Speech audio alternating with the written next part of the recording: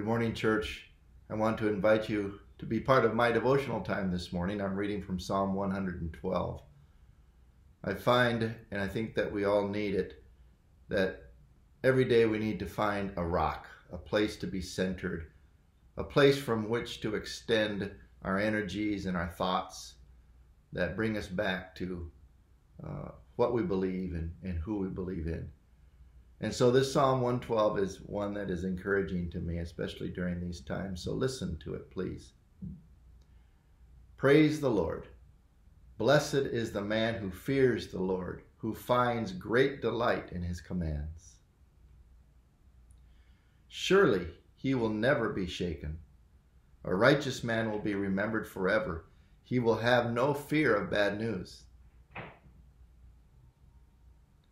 His heart is steadfast, trusting in the Lord. His heart is secure. He will have no fear. In the end, he will look in triumph on his foes. He has scattered abroad his gifts to the poor. His righteousness endures forever. His horn will be lifted high in honor. The wicked man will see and be vexed he will gnash his teeth and waste away. The longings of the wicked will come to nothing. So the verse that just jumped out at me was the verse 7 where he says, He will have no fear of bad news. His heart is steadfast, trusting in the Lord. May these words center you this morning.